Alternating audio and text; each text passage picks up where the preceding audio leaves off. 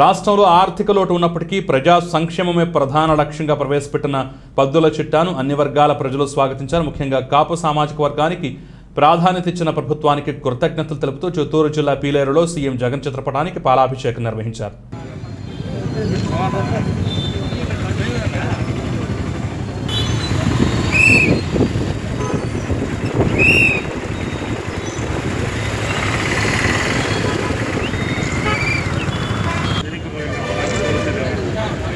ఆ బకెట్ ముందు పెట్ట.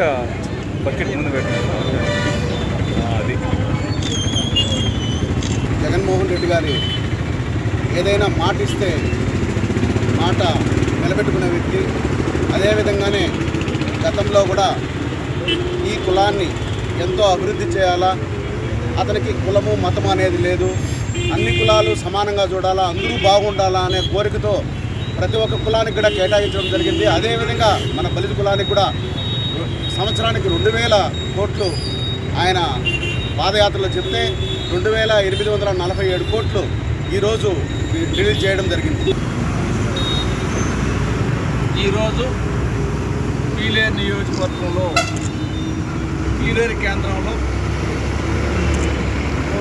గౌరవనీయులు రాష్ట్ర ముఖ్యమంత్రి వర్యులు జగన్మోహన్ రెడ్డి గారి చిత్రపటానికి పాలాభిషేకం కార్యక్రమాన్ని బలిత సామాజిక వర్గం అంతా కూడా ఈ నియోజకవర్గంలోని ప్రజలంతా వచ్చి పాలాభిషేకం కార్యక్రమం ఏర్పాటు చేసి మమ్మల్ని ఆహ్వానించినందుకు వారికి అందరికీ కూడా కృతజ్ఞతలు తెలియజేసుకుంటున్నాం ఈరోజు జగన్మోహన్ రెడ్డి గారు రెండు వేల ఎనిమిది వందల యాభై కోట్లు కాపు సామాజిక వర్గానికి కాపు కార్పొరేషన్ ద్వారా నిధులు కేటాయించడం జరిగింది.